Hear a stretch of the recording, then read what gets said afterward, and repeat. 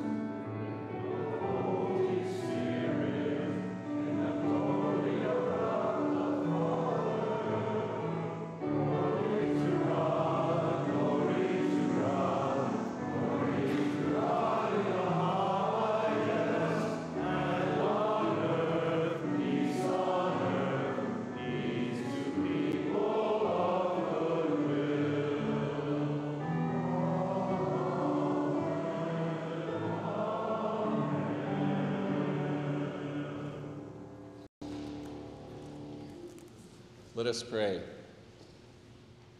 Holy Father, who through urging all the faithful to perfect charity, never cease to prompt many to follow more closely in the footsteps of your Son, grant that those you have chosen for this special calling may, by their way of life, show to the church and the world a clear sign of your kingdom. And we ask this through our Lord Jesus Christ, your Son, who lives and reigns with you in the unity of the Holy Spirit, God, forever and ever. Amen.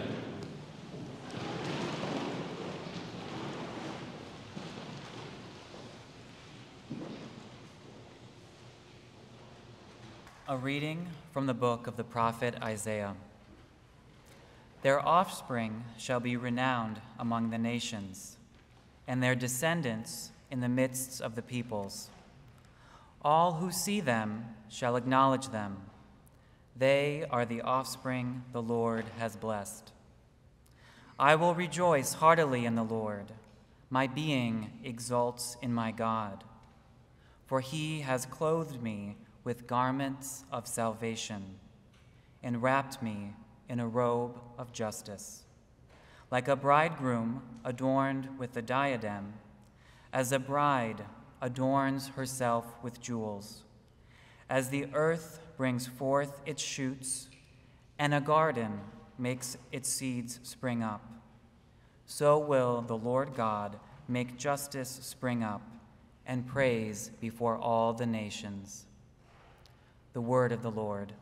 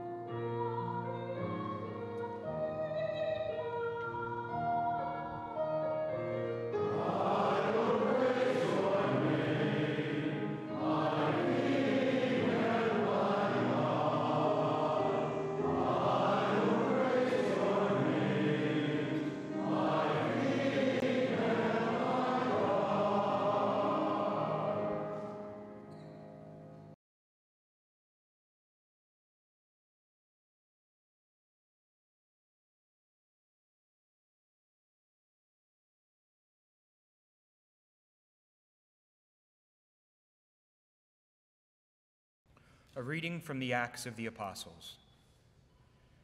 They devoted themselves to teaching of the apostles and to communal life, to breaking the bread and to prayers.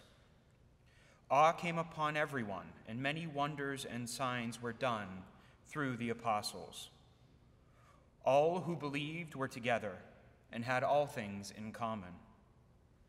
They would sell their property and possessions and divide them among all according to each one's needs.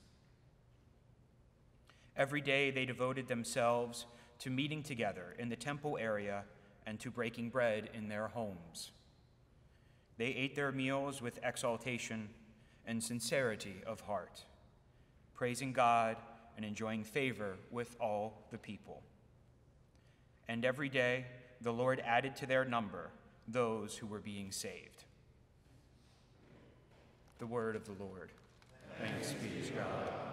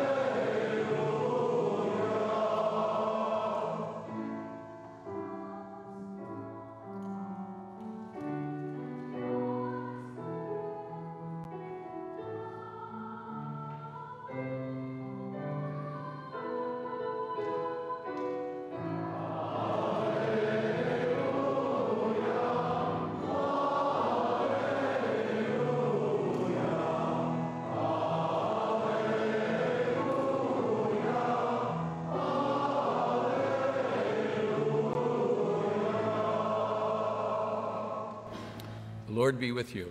A reading from the Holy Gospel according to John. Amen, amen. I say to you, unless a grain of wheat falls to the ground and dies, it remains just a grain of wheat. But if it dies, it produces much fruit. Whoever loves his life loses it, and whoever hates his life in this world will preserve it for eternal life. Whoever serves me must follow me, and where I am, there also will my servant be. The Father will honor whoever serves me. The word of the gospel of the Lord. Praise, Praise to you, Lord Jesus.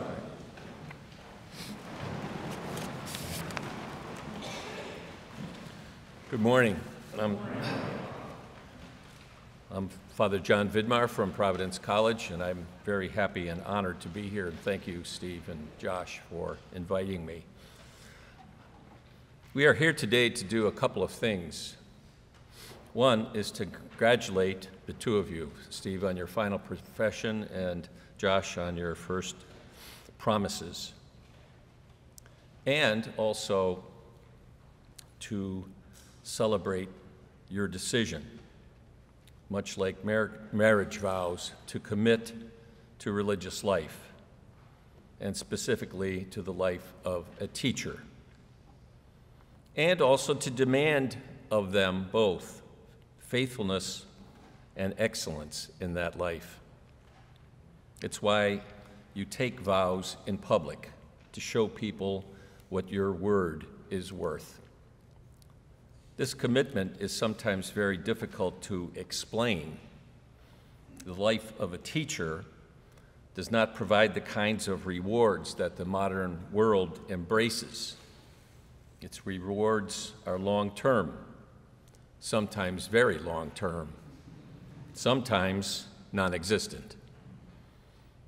In the corporate world, rewards are immediate. You write up a successful advertising brochure and the board calls you in and applauds and might even give you a raise. You make a sale and you get a commission. Even musicians get instant gratification as they perform and get immediate applause. Builders congratulate each other at a ribbon cutting. None, none of this will happen to you. Students will go away and forget about you. When my students tell me they always want to stay in touch, I ask them, after 40 years of teaching, how many students do you think have stayed in touch with me? I hold up one hand and say, five, but I may be exaggerating. it's probably four. Um, in my very first class in church history, this was at Ohio Dominican in Columbus, Ohio, I was so excited that after two years of teaching things I really didn't want to teach, I got to teach church history. And it was a subject that I loved and I just couldn't wait. And I had 40 students in that class, and I gave it my best effort. And I thought I had the students listening. They were possibly even on the edge of their seats, asking good questions. I had visions of Lord Acton giving his inaugural lecture at Cambridge University about 100 years ago. And at the end of this first class, one student waited for all the others to leave and asked, Father, can you tell me, is this class going to pick up at all as the year goes on?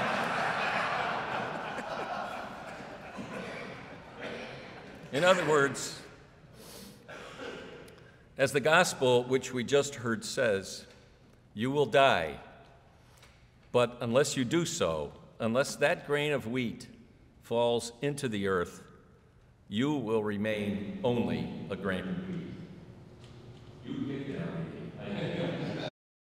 And it's a great reading because it continues, but if it dies, it will bear much fruit. What you are committing to may be hard for people to understand. You will be underpaid, appreciated, misunderstood, and it may be hard to explain why you chose this particular life. But I learned over the years that I did not have to explain myself. I just had to explain somebody else.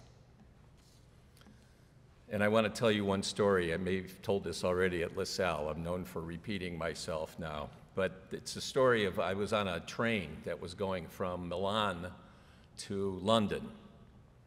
And it's going to be a long train ride overnight. We are starting off at about 9 o'clock in the evening. and I found an empty uh, cabin. There were six seats in there. Nobody was in there. I thought, this is great. I can go in there and maybe just sleep. And as soon as I did so, four young men got into the cabin with me pretty much filling it up. And they started, they had just met each other. They were all English, they were on their way home, three of them. And they were on their way home to London for a long weekend. And they started to introduce themselves. Hi, I'm Mike. I'm a car mechanic, and I'm going home for the long weekend. And the next guy said, And I'm Tommy, and I'm a car mechanic. They're all at Fiat. And I'm going home for the long weekend. And I thought to myself, what do I do? I was dressed like a normal person. and I thought, this may be my big chance. And I thought to myself, I'm going to tell them my name is Cal Ripken, and I play and I play for the Baltimore Orioles. This is my chance. And then I thought, it's going to be really hard to lie to three car mechanics for 18 hours or something like that. And so the next guy said, I'm Mike and I'm a car mechanic and I'm going home for the long weekend. Oh boy. So they looked at me and said, Yes. And I said, I'm John and I am a Roman Catholic priest. And that silence that you have right now in this, I was greeted with that. And one of them said, Mike said, Well, why would you want to do that? You seem to be normal. okay. And I said, There's a long story and, and, there's a short story. And I gave him the short story. And I said, You know that story about Jesus Christ who was born in the manger and died on the cross and rose from the dead? And they said, Yeah, we know that story. I said, Well, I believe that it really happened. And this is the only way I felt that I could respond to that story. It doesn't mean we all have to respond that way, but we all have to respond to that story. And I think that's one of the things that you are going to challenge people about. Because everybody is going to ask, why are you doing this? You seem to be normal, okay? And your response has to be, You know that story about Jesus Christ? That he's born in the manger and died on the cross and rose from the dead? Well, I believe that it really happened. And we all need, again, to respond to that. It was something I think these three in the car with me had never considered. But that's what you are going to do with your life to teach, not only through your various subjects, whatever they may be, but especially through your life.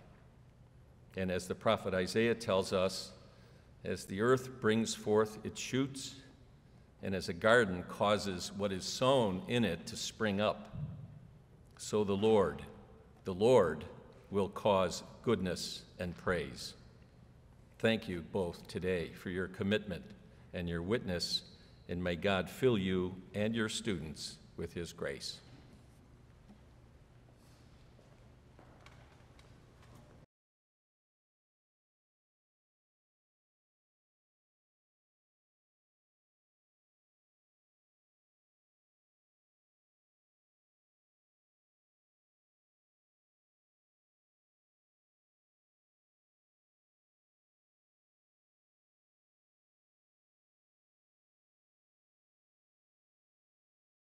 I'd like to invite Mr. Josh Bashore to please come forward.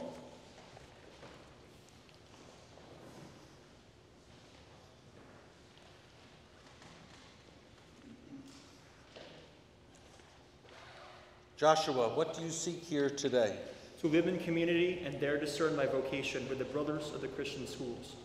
In the presence of the most holy Trinity, Father, Son, and Holy Spirit, in response to God's call to live more profoundly my baptismal, my baptismal consecration.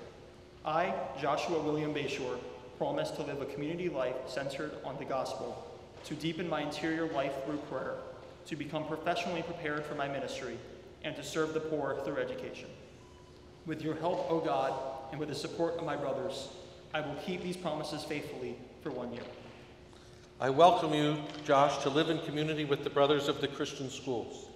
And as symbols of your new relationship with us, I give you the St. LaSalle Medal to remind you of our founder, a lapel pin to witness to your commitment, and the brothers' rule to deepen more and more an understanding of our life. May they be reminders of your baptism and also of your promises to seek God's will for you within our institute. So please join me in welcoming Josh.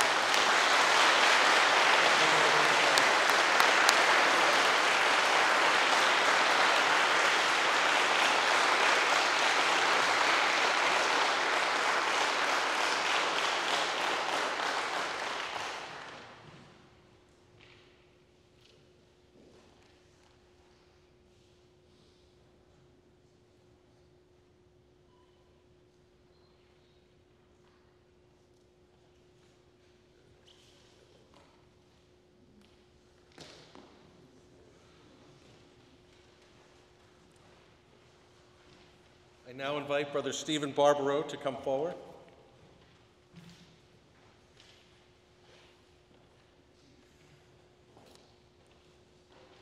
Steven, what do you ask of God and of His holy church? I ask to remain in the Institute of the Brothers of the Christian Schools all the days of my life.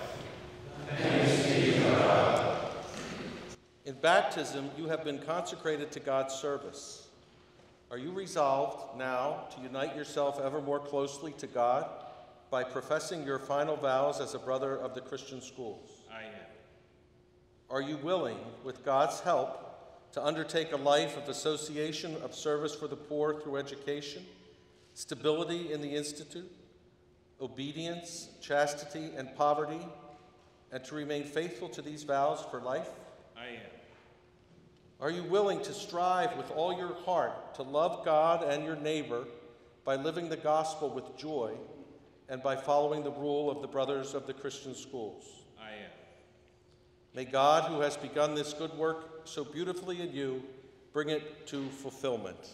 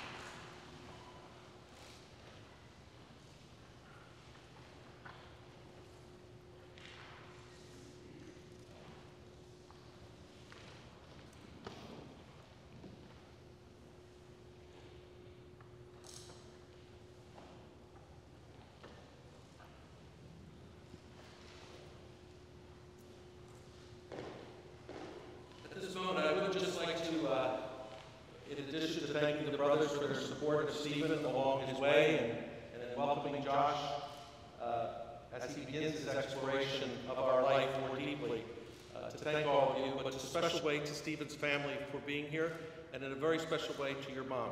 Mrs. Barbaro, thank you so much for giving us Steven and for joining us in this journey. It's a special day for us, and thank you so much for being here.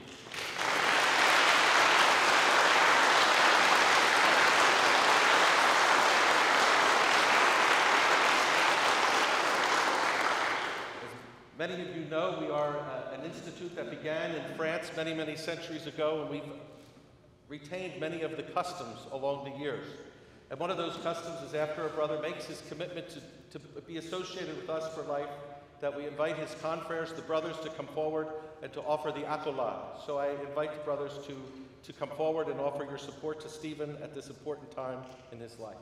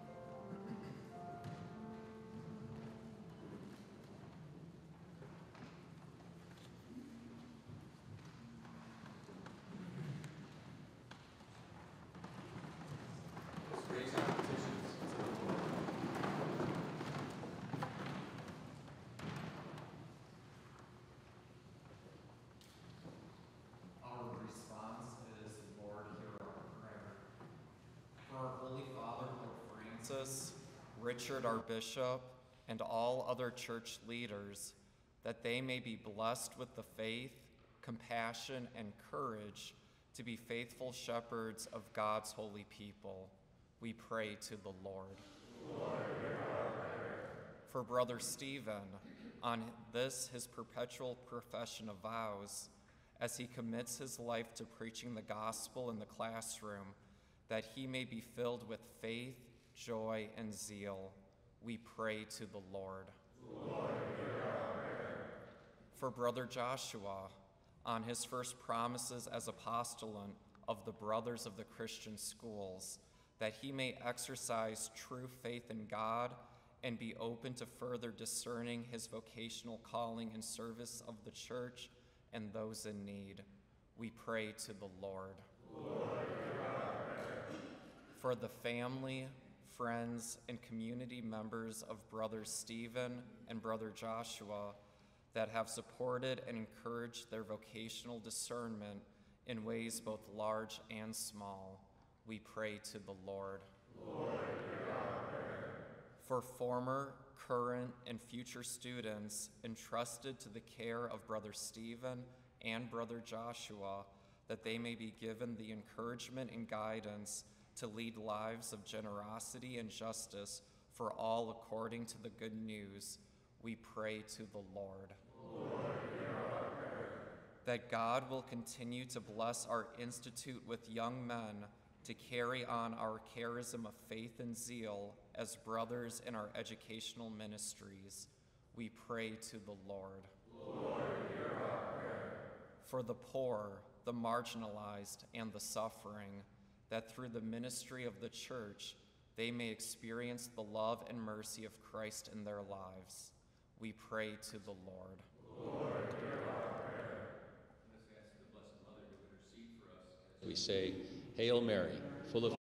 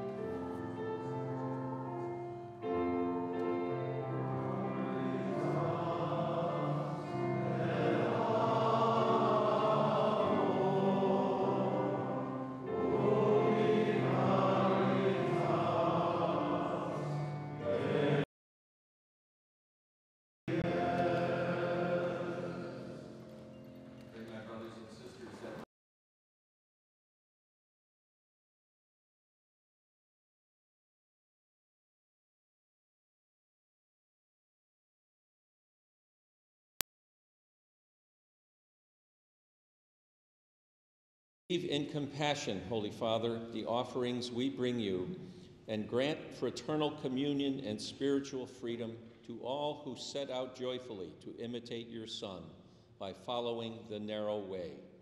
We ask this through Christ our Lord. Amen. The Lord be with you. Lift up your hearts. Let us give thanks to the Lord our God. It is truly right and just, our duty and our salvation, always and everywhere, to give you thanks, Lord, Holy Father, Almighty and eternal God.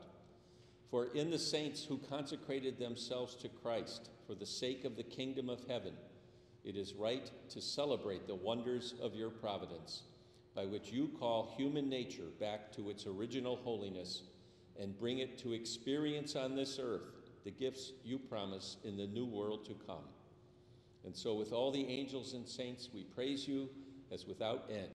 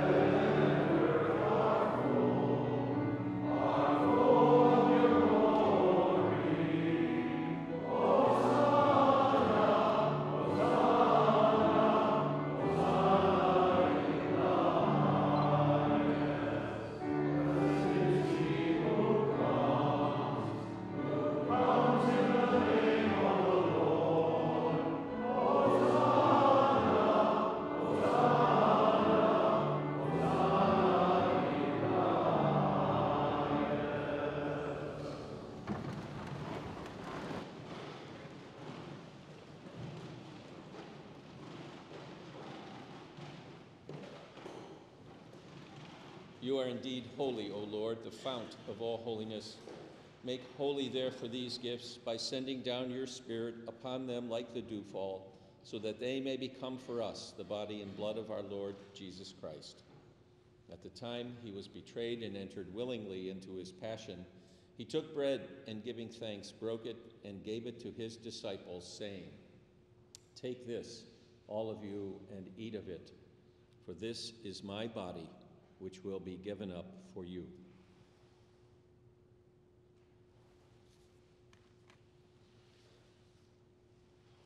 In a similar way, when supper was ended, he took the chalice, and once more giving thanks, he gave it to his disciples, saying, Take this, all of you, and drink from it.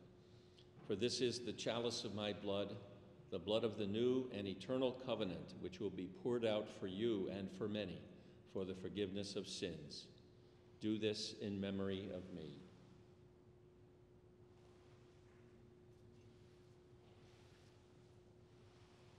The mystery of faith.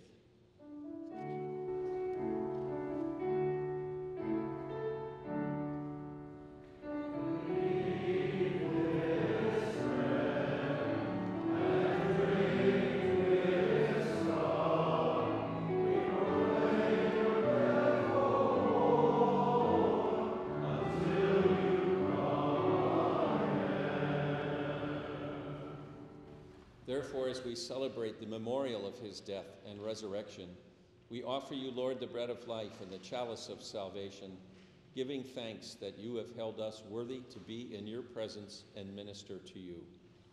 Humbly we pray that, partaking of the body and blood of Christ, we may be gathered into one by the Holy Spirit. Remember, Lord, your church spread throughout the world and bring her to the fullness of charity, together with Francis our Pope, Richard our Bishop, and all the clergy. Remember also our brothers and sisters who have fallen asleep in the hope of the resurrection and all who have died in your mercy.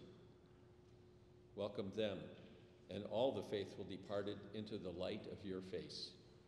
Have mercy on us all, that with the Blessed Virgin Mary, Mother of God, with Blessed Joseph, her spouse, with the blessed apostles and all the saints who have pleased you throughout the ages, we may merit to be co heirs to eternal life and may praise and glorify you through your Son, Jesus Christ. Through him, and with him, and in him, O God Almighty Father, in the unity of the Holy Spirit, all glory and honor is yours forever and ever. Amen. Amen.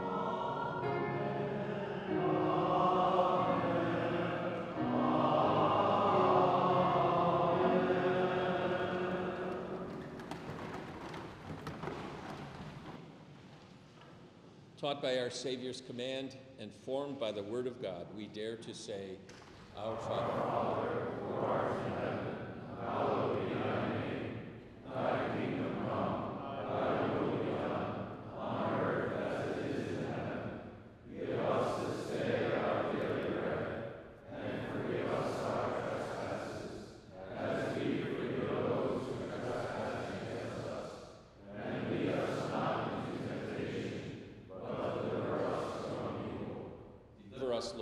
from every evil, graciously grant peace in our days, that by the help of your mercy we may be always free from sin and safe from all distress as we await the blessed hope and the coming of our Savior, Jesus Christ.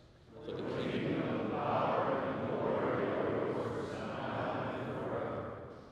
Lord Jesus Christ, who said to your apostles, Peace I leave you, my peace I give you, look not on our sins, but on the faith of your church, and graciously grant her peace and unity in accordance with your will, who live and reign forever and ever. Amen. And the peace of the Lord be with you always. And with your spirit. Let us offer each other a sign of peace. Peace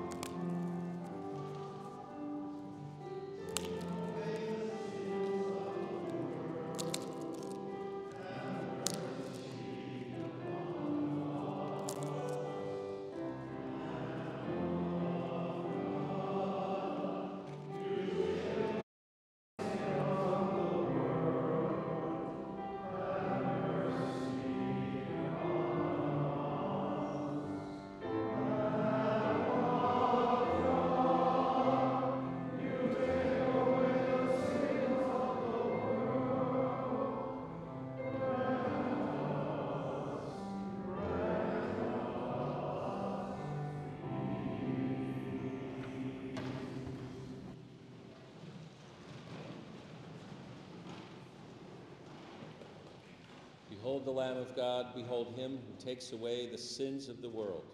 Blessed are those called to the supper of the Lamb.